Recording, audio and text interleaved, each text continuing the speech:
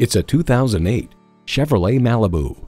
This Malibu shifts your perception of what a midsize car can be. It comes nicely equipped with features you love. AM, FM, XM satellite radio, power windows, manual tilting steering column, power mirrors, manual telescoping steering column, Ecotec engine, gas pressurized shocks, and automatic transmission.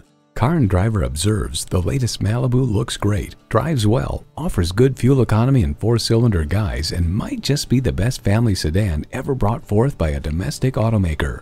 There's more than a century of ingenuity and significance in every Chevy. Hurry in today for a test drive.